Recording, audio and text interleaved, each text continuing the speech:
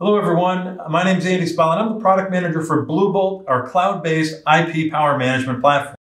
Uh, and today I'm going to talk to you about the new mobile app update version 2.2. We've added some great, amazing new features, and I want to tell you all about it. The Bluebolt mobile app allows you to monitor and troubleshoot your devices. Uh, I can see my locations here. I can go in. I can uh, view the details of different devices in the, in the installation.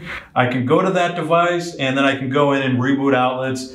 Customer calls me that something isn't working. I can just open up my phone, go into my Bluebolt mobile app, and try and rectify the problem by rebooting devices. Very, very easy to do.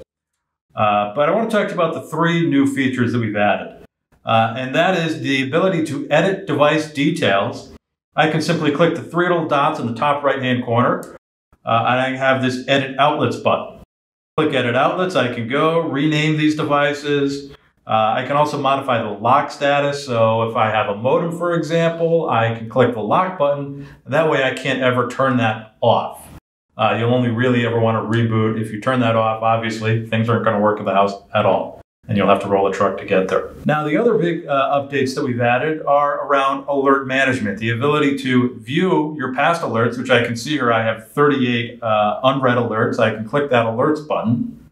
I can also swipe left and reveal additional options such as mark as read or unsubscribe from that alert uh, if I don't want to receive that information anymore. Finally, we also added the ability to subscribe to new alerts uh, for a device. So I have in my profile section here, I have a new uh, option called alert subscriptions. I can click that. Now I can see all the devices which I'm currently subscribed to. So if I wanted to go in and modify that, I can do that here. I can also go and add a new uh, alert. It's going to prompt me to select my location. Now it's going to prompt me to select the device. And now I can select which alerts I want to add to by modifying these uh, toggle buttons. So that's a Bluebolt mobile app update, version 2.2. Please stay tuned for more to come. Thank you very much and have a great day. If you have any questions, please contact your regional sales manager or visit www.mybluebolt.com. Thank you.